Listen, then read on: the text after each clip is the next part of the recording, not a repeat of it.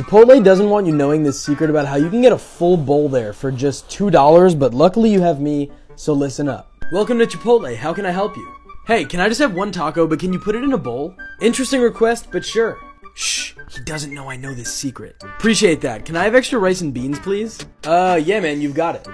I bet he's gonna give me extra meat too, so that it's proportional to the rice and beans. Nice job, man. You basically just got a bowl for $2.65, but how did you know that? Well, I follow Matt Gresia.